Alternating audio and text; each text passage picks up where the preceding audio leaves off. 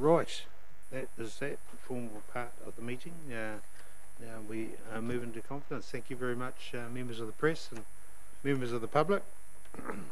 Mr Chairman, just before you do, Yes. Mr Jakes was going to find out about that particular clause in standing orders about